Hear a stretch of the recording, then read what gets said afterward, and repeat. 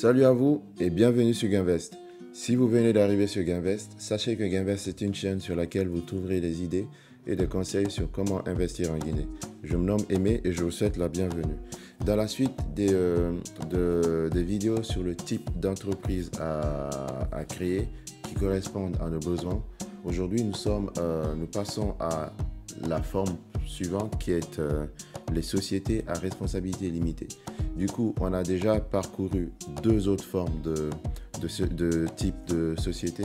Et du coup, dans la vidéo d'aujourd'hui, on va parler de la société à responsabilité limitée.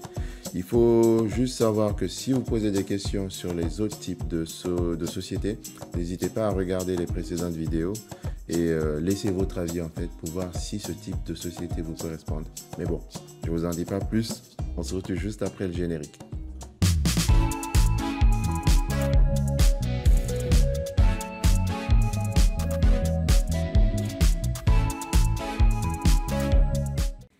Donc voilà, donc euh, on va parler de la société à responsabilité limitée, qu'on appelle communément SARL. Et du coup, euh, en ce qui concerne en fait la description de cette société, il faut au minimum une personne et il faut que l'établissement des statuts se fasse par acte notarié. Ça veut dire qu'il faut qu'il y ait la présence d'un notaire en fait lors de la création et il faut que toutes les personnes présentes, en fait, euh, euh, actives dans la société, soient mentionnées, en fait, dans l'acte de notaire. Donc, on n'a pas besoin de capital minimum. La responsabilité est limitée aux apports de chaque associé. Donc, vous serez responsable à hauteur du taux d'investissement que vous aurez euh, impliqué, en fait, dans le capital initial. La gestion de l'entreprise, en fait, demande un ou plusieurs gérants nommés par les associés. En fait, en gros, de ce que je lis, dans les sociétés à responsabilité limitée, en fait, les associés sont acteurs en fait de l'organisation qui veut l'imposer l'activité. Donc, on n'a pas besoin de commissaire au compte et on peut évoluer en fait vers d'autres types d'activités, d'autres types de formes de société. Ça veut dire que vous pourrez commencer par SARL et évoluer vers d'autres types dans la liste en fait qui sera proposée. Par contre, je ne sais pas si on peut aller en descendant, parce que souvent, il y a des formes qui ont plus d'avantages et d'inconvénients que d'autres. Je ne sais pas si on peut descendre en avantage, en fait, ou on est obligé de monter. Donc, ça, c'est des questions à poser. Et euh, des fois, il arrive que vous, on comprend rien, mais n'hésitez pas à poser des questions lorsque vous commencerez, en fait, la démarche de créer votre activité et euh, n'acceptez pas tout ce qu'ils vous diront encore. Et euh, la création se fait à la pipe qui est un établissement en Guinée qui permet en fait la création d'entreprises et c'est un détachement en fait du ministère de, de l'investissement en fait et ministère de, des affaires économiques. Donc, les documents requis, on demande un formulaire à remplir, le RCM. Le modèle est disponible au guichet de la PIP. Un statut et procès verbal de l'Assemblée générale constitutive l'attestation du compte bancaire portant libération en fait du capital social et de bordereau de versement portant libération du capital. Par contre, ça, j'ai pas compris parce qu'on nous donne la possibilité d'investir zéro. Du coup, c'est pas comment on fait si on investit zéro et qu'est-ce qu'on mentionne dans l'attestation bancaire sur la libération des capitaux sociaux. Ensuite, on demande des pièces d'identité et une photo d'identité. Donc, pour le coût, en fait, c'est 530 000 francs guinéens. Et en termes d'avantages et de risques, on a en avantage une forme de gestion simplifiée. Le capital social minimum est librement fixé par les associés. La possibilité de faire des apports en industrie. La responsabilité est limitée, comme on l'a dit, par rapport aux, investissements. Euh, de chaque associé en fait d'un capital initial. La procédure d'établissement des statuts est plus souple. OK les, associés ont la possibilité d'associer un contrôle étroit à l'accès de nouveaux associés. OK, donc ça veut dire que si jamais on a une place qui se libère dans le, dans, bah, le groupe d'associés, si un nouveau veut euh, si un nouveau, si un nouvel associé en fait veut euh, prendre place et s'introduire dans la société, les associés présents ont la possibilité d'imposer en fait certaines conditions pour s'assurer que l'associé entrant euh, corresponde à ce qu'ils attendent en fait. Donc euh, la société pourra continuer d'exister en cas de décès de l'un des associés, sauf clause salutaire contraire. Vous voyez, du coup, en gros, dans les sociétés à responsabilité limitée, les associés vraiment prennent une certaine place en fait dans l'organisation, même dans l'existence même en fait de la société. Donc, euh, les associés peuvent être mineurs. la transformation est possible vers d'autres formes d'activité ou d'autres formes euh, d'entreprise. Et en risque, on a un formalisme de fonctionnement. Donc, euh, en gros, il y a un certain format à respecter. cette forme d'activité est inadaptée pour certaines activités comme les banques et l'assurance, on ne peut pas faire d'appel public à l'épargne. Donc, en cas de problème, on ne peut pas demander en fait euh, une certaine aide. On ne peut pas émettre des valeurs immobilières. Et les associés ne peuvent librement céder leur part sociale. Donc ça, c'est des questions à poser parce que ça me paraît un peu euh, confus. Donc voilà, donc c'est tout ce qu'on avait à dire en fait sur euh, les sociétés à responsabilité limitée. Du coup, on passe à les sociétés par action simplifiée. Donc j'imagine que ça sera très court, hein. action simplifiée.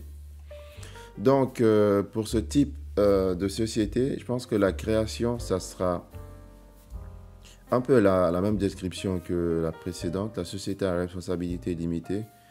Surtout que euh, la seule différence, c'est le capital minimum qui est librement déterminé dans le statut. Il n'y a pas aucun, on, peut le, on a le choix en fait de déterminer le choix qu'on veut. Euh, la responsabilité est limitée aux apports de chaque associé. Donc c'est exactement la même chose. Et les documents requis. Ok. Donc, les documents requis, donc les sociétés par action limitée, les documents requis, c'est les statuts et procès-verbaux de l'Assemblée générale constitutive. Le modèle est téléchargeable sur le site. L'acte de dépôt des statuts sous sein privé à faire chez le notaire. Du coup, dans ce type en fait de forme, la présence d'un notaire est requise en fait. Du coup, l'attestation du compte bancaire portant libération du capital, la copie des pièces d'identité des dirigeants de la société, la demande de RCM, qui est le formulaire qui est disponible en fait à l'agence. Donc, euh, les coûts sont de 550 000 francs guinéens. Et en avantage, on a le capital qui n'est soumis à aucun minimum.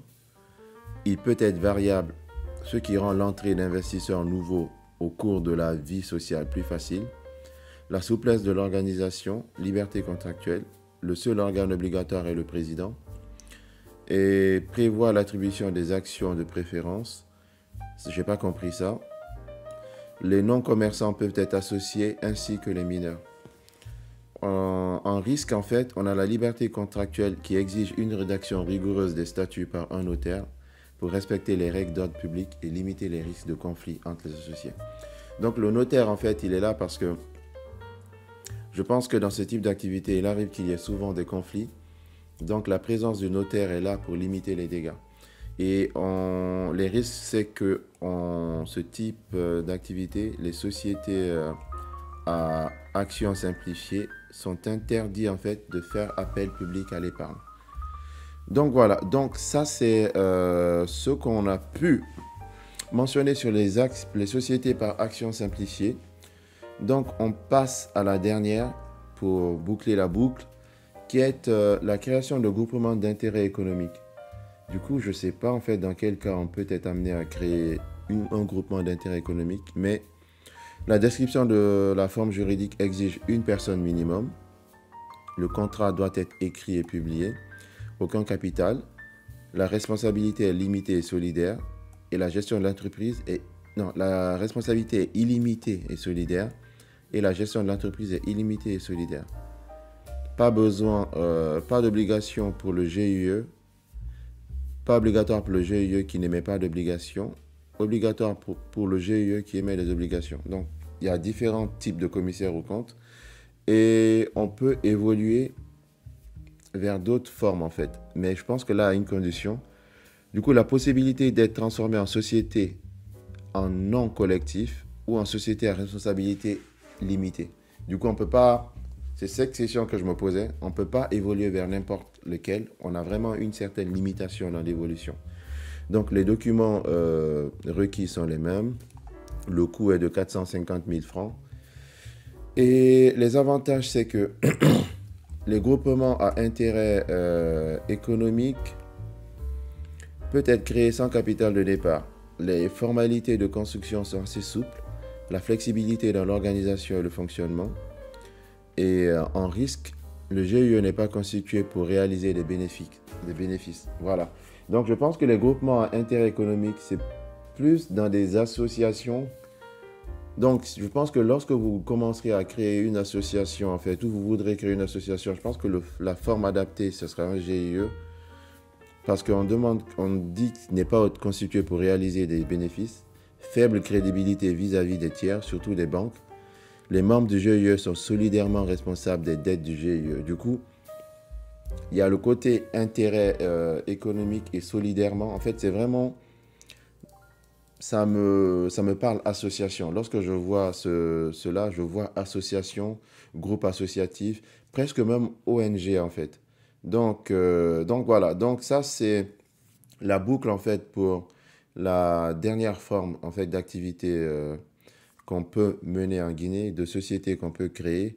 Et du coup, j'espère que vous aurez compris en fait euh, les termes qu'on a abordés et que ça, le brouillard il est moins épais afin que vous ayez vraiment le, le, les questions vraiment euh, directes lors de la création de votre société ou de votre groupement ou de votre association ou de votre euh, entreprise afin que vous ayez tout ce qu'il faut pour perdre moins de temps possible et surtout aller droit au but. Donc voilà, donc dites-moi si vous aimez la vidéo et encore n'hésitez pas à vous abonner pour les personnes qui ne sont pas encore abonnées pour euh, partager en fait euh, le maximum d'infos et surtout faire grandir la communauté et toucher le maximum de personnes. Donc euh, j'espère que vous allez bien, que vos activités avancent bien et on se retrouve dans d'autres vidéos sur le terrain et un peu partout pour vous motiver en fait à vous euh, lancer dans l'activité, dans l'investissement en Guinée et même essayer de concrétiser votre activité en fait et apprendre de nouvelles façons d'avancer. Donc voilà, donc je vous dis à bientôt sur Gainvest et on se retrouve dans le prochaine vidéo. Allez, bye bye